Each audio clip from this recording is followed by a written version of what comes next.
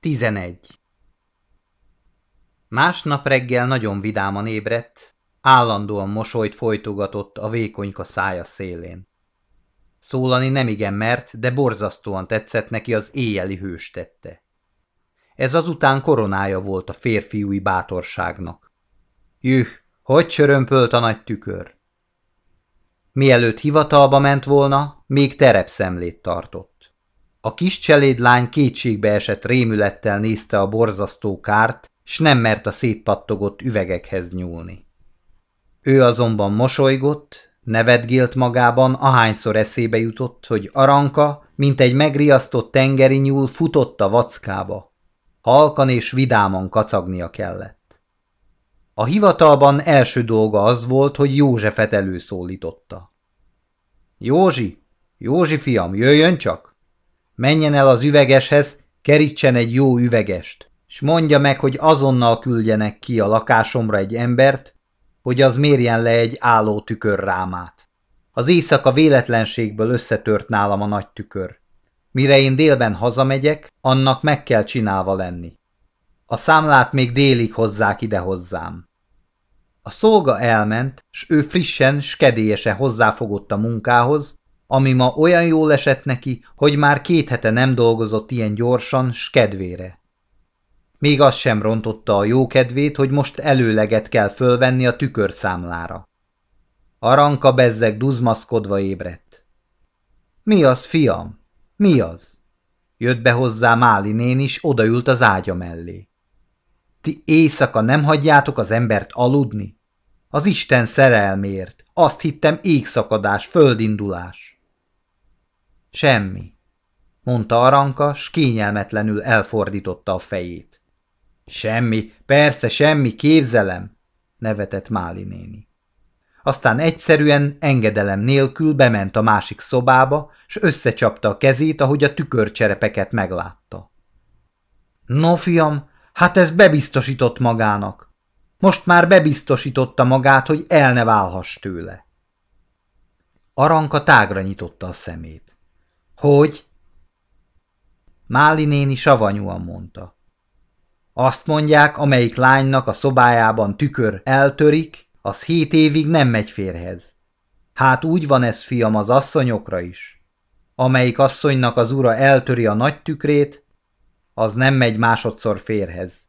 Hét évig. Azután meg már elvitte a macska.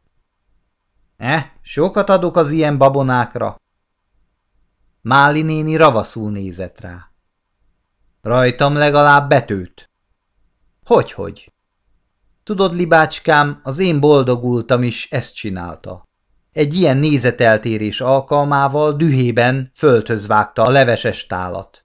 Persze erre elhallgattam. Ezek a rabiátus vadállatok, ha kijönnek a sodrukból, persze az ember nem mer tovább packázni de egy másik alkalommal földhöz vágta a boros palackot. Ezt már csak néztem, de valami megmozdult bennem. Csak próbáld még egyszer, mondtam magamban. Hát egyszer megint dobálni kezdi az edényemet. Igen. Fogtam én is a lavort, földhöz vágtam a lába előtt. Olyan rózsaszínű nagy lavor volt. Fogtam a kancsót, földhöz vágtam. Fogtam a szappantartót, persze éjjel volt a hálóban, akkor el akarja kapni a kezem. A porcelán szappantartó kirepül, s bele a nagy tükörbe. Olyan temperamentumosan adta elő ott a szoba közepén, hatalmas karjaival hadonászva, hogy arankának ettől a váratlan fordulattól elállott szeme, szája, aztán egész szívvel elkezdett kacagni. Csak úgy vergődött a párnák között. Annyira tetszett neki a néni tromfja. Igen, mondta a néni. Ha ő csapkodja az én edényemet, én is csapkodom. Sokat fog velem komédiázni.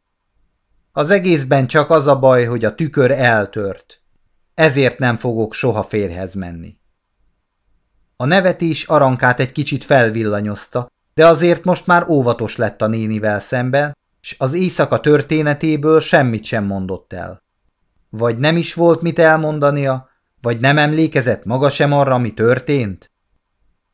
Amint felöltözött, s hozzá akart fogni a tűnődéshez, mit csináljon a törött tükörrel, roppant szégyelte a dolgot, akkor beállította az üveges. Görbe suta kisember volt.